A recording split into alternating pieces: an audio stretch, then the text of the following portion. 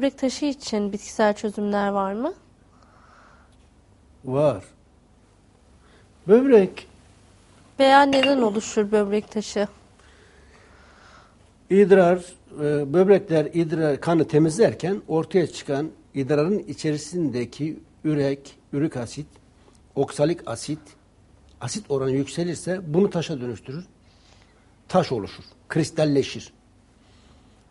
Antalya'dan bir beyefendinde böyle ceviz büyüklüğünde taşlar oluşuyor. 6 ayda bir ameliyat oluyor.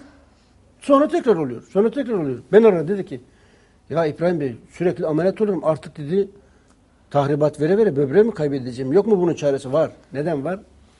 Avokado yaprağı, kayış kıran kökü, altın başak otu, ısırgan kökü, ayrık kökü, 19 çeşit çok özel bir karışımız var.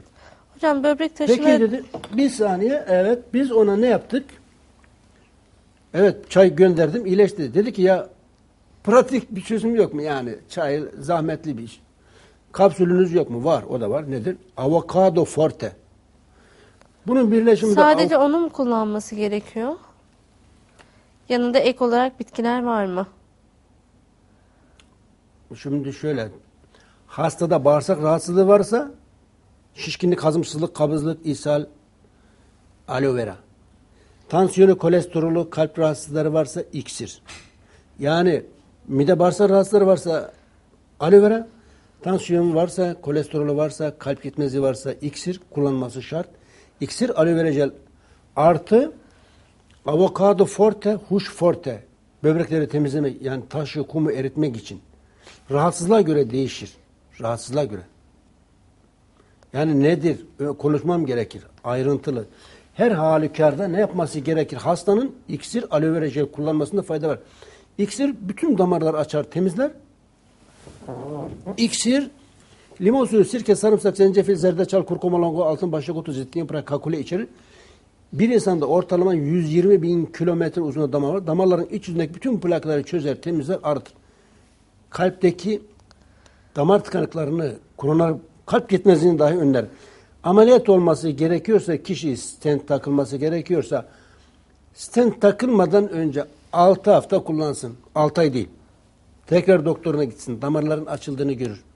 Sadece kalp damarı değil, beyin damarlarını, kalp damarlarını, cinsel organdaki damarları, bütün organlardaki damarlar açır. Peki hocam e, böbrek taşından bahsetmişken safra taşında da safra kesesinde oluşan taşlar.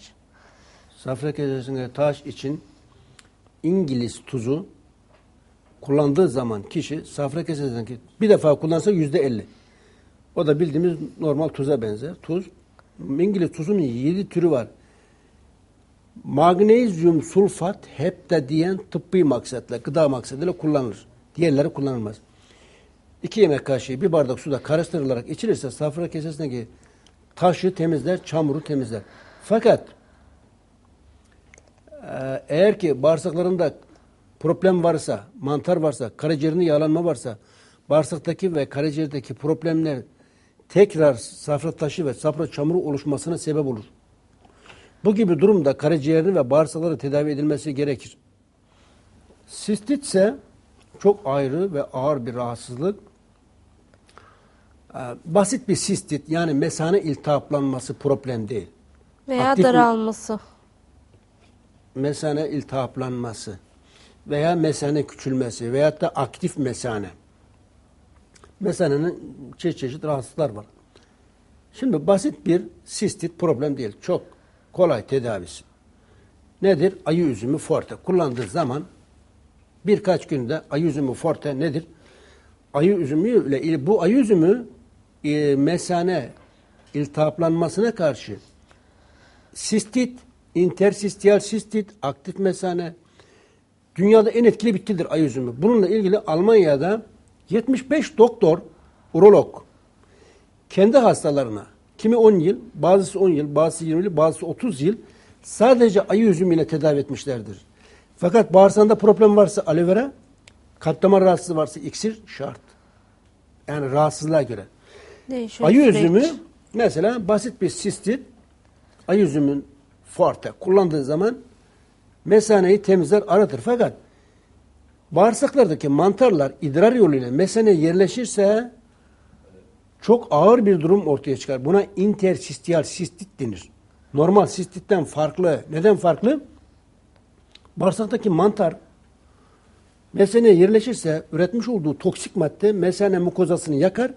Mesenenin içerisindeki sinir uçları böyle açıkta kalır. Parm açıkta kalırsa ne olur? Böbreklerden gelen birkaç damla idrar mesane doluymuş gibi sürekli beyne, beyne sinyal göndermeye başlar. Sinir uçları açıkta olduğu için. Buna aktif mesane denir. Bazı kişiler var ki bir gecede 30 defa lavaboya gidiyor. Hiç uyuyamıyor. Bir iki damla geldi mi mesane doluymuş gibi kişiyi rahatsız ediyor. Hiç uyuyamazlar. Aa, yıllar önce böyle bir beyefendi beni aradı dedi ki interstitial sistit hastasıyım tedavisi var mı? Ya dedim benim bildiğim kadınlarda, bayanlarda olur. Erkeklerde pek olmaz. Nasıl oldu? Ne oldu? Dedi ki siz de haklısınız. Tam 9 profesör doktor, urolog dahi teşhis koyamamışlar. Yani bu bayanlarda olan bir hastalık. Erkekte olmaz diye düşünmüşler.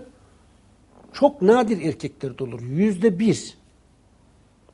Çünkü bayanlar da idrar yoluyla anüs birbirine yakın olduğu için bayanlar hijyene dikkat etmezlerse makattaki bakteri, virüs ve mantarlar hemen idrar yoluyla meseneye ulaşır.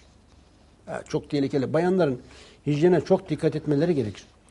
Bu beyefendiye biz iksir, aloe vera jel, huş forte, ay üzümü forte, böbrek çayı, mesane çayı verdik. Kullan bakalım. Aa, sonra geldi beni ziyarete. Aylar sonra. Allah sizden razı olsun dedi. Profesör doktorun dahi teşhis koyamadığı bir hastalığı tedavi ettiniz dedi. Siz mükemmel bir insansınız. Sağ ol, teşekkür ederim. Çok güzel hocam.